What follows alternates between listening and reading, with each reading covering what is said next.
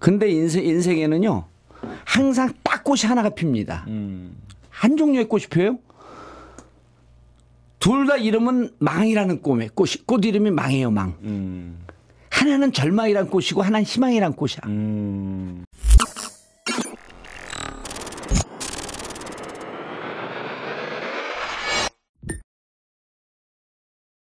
그래서 우리가 명심해야 될 게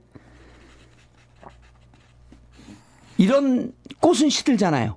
절망이란 꽃도 반드시 시든다. 음. 절망이란 꽃이 시들면 절망이란 꽃이 시드는 순간에 예. 희망이란 꽃이 펴요. 어. 음. 내 희망의 문이 딱 닫혀서 절망의 문이 생겼을 때그 예. 절망의 문을 눈을 보, 문을 보면서 좌절하고 눈물을 흘리고 있을 때 내 뒤에서 희망의 문이 열리는 것을 못 봤다. 예. 이거거든요. 예, 예.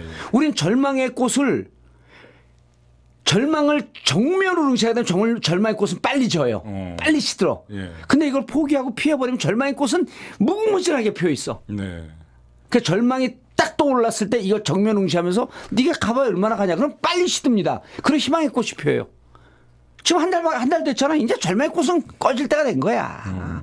희망의 꽃을 피우는 연금술사 정봉주가 온 거예요.